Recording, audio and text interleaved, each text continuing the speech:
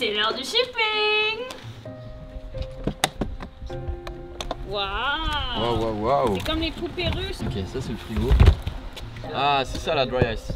You can bring one box like this uh, to the table there. And then one big box of dry ice also. C'est ma poignée. Donc aujourd'hui, on va envoyer environ 2800 échantillons euh, en Allemagne, à Heidelberg, à l'EMBL. Ce qui représente une trentaine de stations euh, Tara. Et c'est vraiment le fruit du travail des six scientifiques et des six marins pendant deux mois. Donc les enjeux, c'est d'être assez rapide pour que les échantillons ne sortent pas de leur température de stockage. It's only two small boxes. No, no, you can let it there. The idea is that the boxes are always in dry ice like that. You got it? Ok, transfer, please. Ok, let's go now. Bon bah voilà, on va faire ça pendant deux heures environ.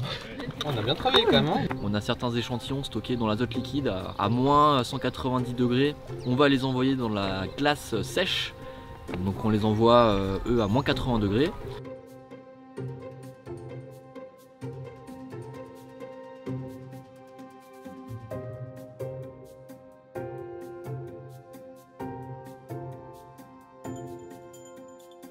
For the dry ice, it's finished. No, no, uh, I think he means in general. Well, we have the minus 20 and the fridge. On a aussi des échantillons qui sont stockés euh, à moins 20 degrés dans un congélateur, des échantillons qui sont stockés à plus 4 degrés dans des frigos. Donc on va aussi les envoyer à ces températures euh, bien précises. Doug, C'est bon? Alors ça c'est EMBL. EMBL 4 degrés, ouais. Attention, c'est mes virus, ça c'est très important. Mercure. Ok, c'est fragile hein. Hop. On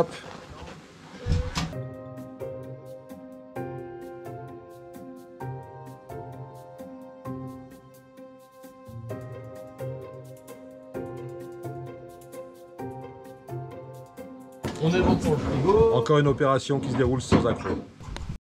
Et aujourd'hui c'est la première étape puisque quand les échantillons seront reçus ensuite à, à Heidelberg, ils vont être redispatchés en différents lots pour ensuite partir vers la vingtaine de laboratoires euh, partenaires à travers l'Europe et le monde où les analyses pourront commencer dans quelques mois. Ok, merci.